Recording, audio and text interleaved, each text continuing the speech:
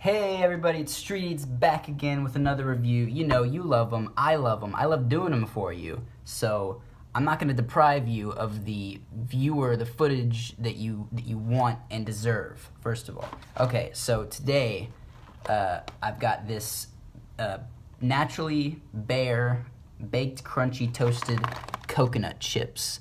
Now, I love coconuts. I love the tropics. I like, you know, Florida. Um, and Tahiti. I love those places, uh, and I like coconut. I like coconutty drinks, especially. Um, so I'm going to assess how good this coconut is. This coconut is because I've had a lot of coconut. Um, so we're gonna pop this right open. Let's get right into it. I don't want to waste any more time. Um, that came off pretty easily. Um, and right off the bat, you can smell, uh, well, coconuts. I don't know if you're familiar with the smell of coconuts. It's very distinctive and for some reason it smells a little bit like uh, buttered coconuts. Uh, it's not really that good actually, um, but I do like the smell of coconut. It has a bit of a weird smell, but regardless of what it smells like, let's get right into it and have a taste. So there's one.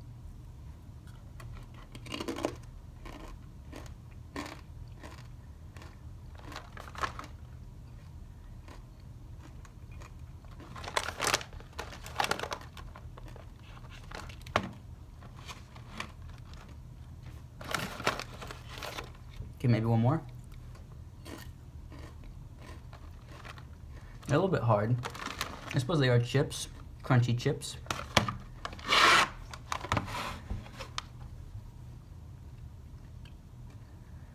Okay, it tastes it tastes good. It tastes um, I'll just lay it out. It tastes pretty good. Tastes like a coconut. Tastes like a, a roasted coconut, I suppose.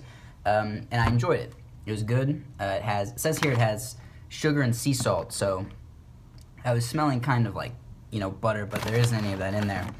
Um, all the shapes are interesting on them. There's a different shape. Every chip has one, um, kind of like Cheetos. Uh, but they don't taste like Cheetos. They taste like coconut. So they're kind of like coconut shavings. They're pretty good. If I'm going to rate them on taste and on presentation as well, um, the taste would be a 9 out of 10. Easy. The uh, appearance it's a very nice, slick packaging. That's like a 9.5 out of 10. It's pretty good. I wanted to buy these because of how good they look from the packaging as well. Um, but if I'm going to critique the price, these were like, these are like, you know, $5. That's quite a bit for food. I could buy like a whole meal for my entire family for $5. So the price was bad. It was, you know, 3 out of 10. So if I'm going to rank this product overall, it's going to have to be a, uh, probably an 8 out of 10. Still pretty good.